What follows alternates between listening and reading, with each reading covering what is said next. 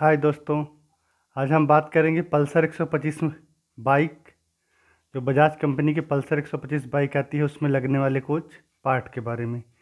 जैसे clutch cable, brake cable, meter sensor, Slater cable.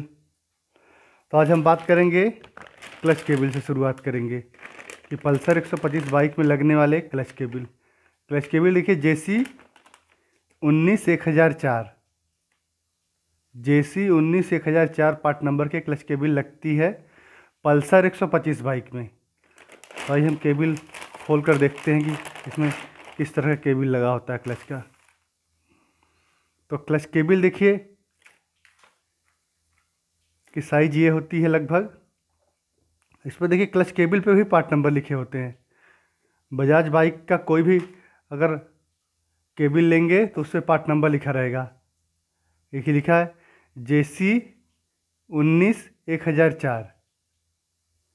ये clutch cable का part number है। तो कभी भी आप सर्विस सेंटर या मार्केट से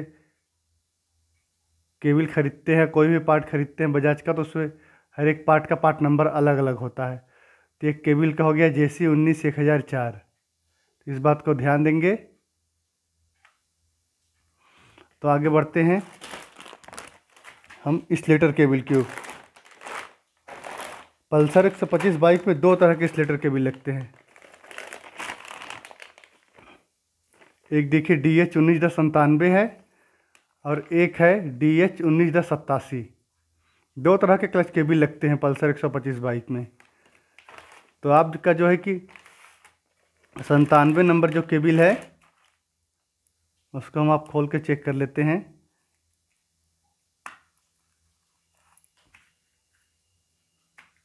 देखिए डी एच उन्नीस दस संतानवे डी एच उन्नीस दस संतानवे एक क्लच केबिल। अरे सॉरी डी एच उन्नीस दस संतानवे स्लेटर केबिल। पल्सर एक सौ पच्चीस के ड्रम ब्रेक की बाइक में लगते हैं। तो इस बात को आप ध्यान देंगे हमेशा कि पल्सर एक सौ पच्चीस बाइक के ड्रम ब्रेक में ये पार्ट नंबर लगता है। तो अब हम डिस्क ब्रेक के केबिल के की तरफ़ चलते हैं कि डिस्क ब्रेक में कौन सा केबिल लगता है। कि डी एच उन्नीस दस सत्तासी, ये डिस्क ब्रेक के केबिल हैं इस लीटर के।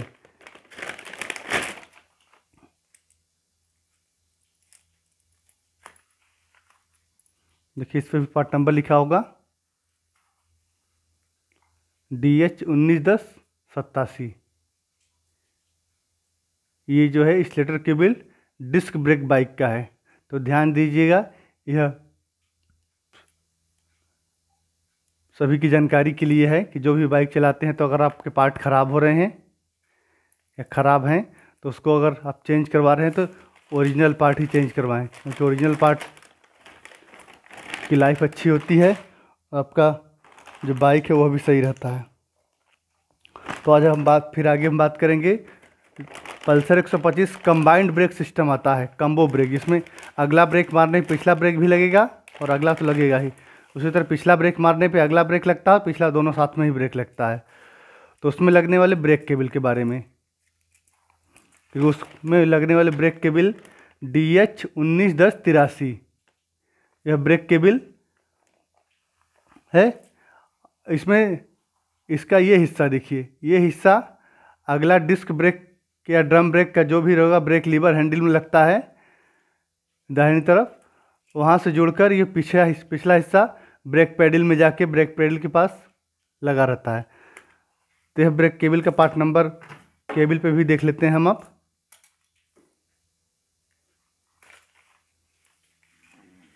देखिए, केबल का पार्ट नंबर यहाँ लिखा हुआ है डी एच उन्नीस दस तिरासी। तो यह पार्ट नंबर ध्यान रखिएगा।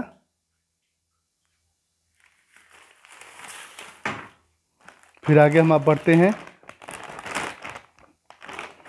दूसरे ब्रेक केबल का। ये देखिए, ड्रम ब्रेक की बाइक में लगता है केबल। ड्रम ब्रेक की बाइक में दो केबल लगते हैं। देख लीजिए। डी एच उन्नीस दस चौरानवे और डी एच उन्नीस दस अट्ठासी। ध्यान दीजिएगा, ये ड्रम ब्रेक के अगले चक्के से जाके जुड़ता है। ये जहाँ ब्रेक लीवर है, ड्रम ब्रेक की बाइक में लगता है। ये ड्रम ब्रेक की बाइक में अगले चक्के से जाकर जुड़ता है। अगले चक्के से लेकर हैंड ब्रेक, जहाँ हैंडल हैंडल में ब्रेक लगा रहता है, उसमें डी एच उन्नीस दस चौरानवे। इसमें देखिए पार्ट नंबर लिखा है। डी एच उन्नीस दस चौरानवे, केबिल का पार्ट नंबर है। तो आगे बढ़ते हैं हम फिर। एक केबिल और बच जाता है इसमें डी एच उन्नीस दस अट्ठासी। इस केबिल पे भी देखिए पार्ट नंबर लिखा रहता है।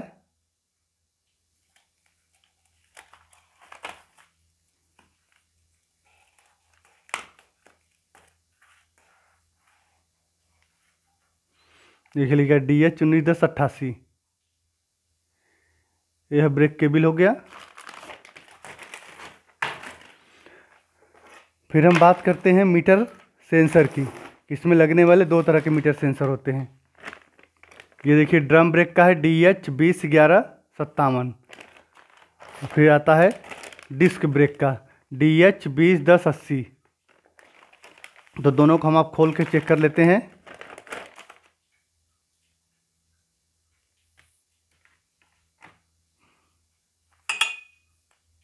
देखिए डी एच बीस दस अस्सी। ये मीटर का सेंसर है। ये अगला अगला हिस्सा चक्के में जाके लग जाएगा। और ये पिछला हिस्सा ऊपर हैंडल के पास मीटर में जाके जुड़ जाएगा और मीटर सेंसर आपका मीटर चलने लगेगा। फिर बात करते हैं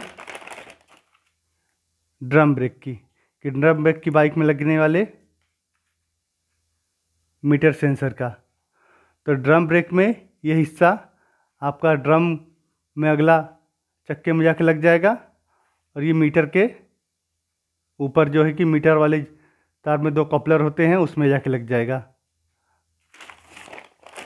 अब हम उसी में मीटर सेंसर में ही कंप्लीट आता है। तो कंप्लीट भी देख लेते हैं। ये देखिए, ये अगले चक्के में जाके फिट हो जाएगा। डिस्क ब्रेक बाइक में केवल लगेगा। और ये पिछला हिस्सा मीटर में जाके, मीटर वायर में जुड़ जाएगा। आज के लिए बस इतना दोस्तों, फिर अगले वीडियो में मिलेंगे। धन्यवाद।